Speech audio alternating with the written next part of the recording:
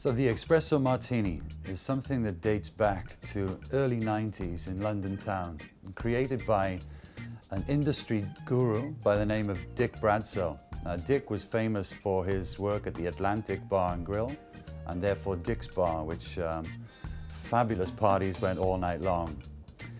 Now, to be up all night long, you needed a stimulant, and originally this drink was called a pharmaceutical stimulant. Dick was famously quoted by saying, this will wake you up and you up. To make an espresso martini, you'll need the following.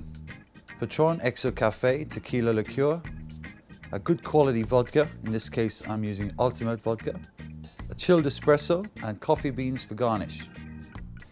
Now to make this drink we're going to need a martini glass and it needs to be chilled so we either take that from the fridge or we put a few ice cubes in there to chill it down while we make our drink. Take your mixing glass. We're going to start with 30 mils of Patron XO Cafe.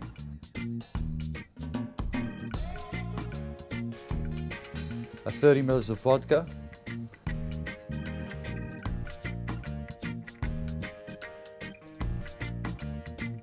And then our uh, espresso shot, uh, around about half a shot, so 15 mils. Top that up with ice and then we're going to need to shake that vigorously to create a nice foam.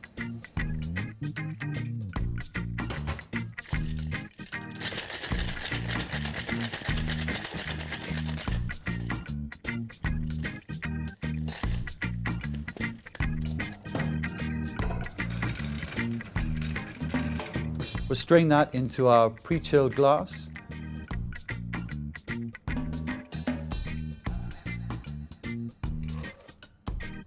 and garnish with our coffee beans.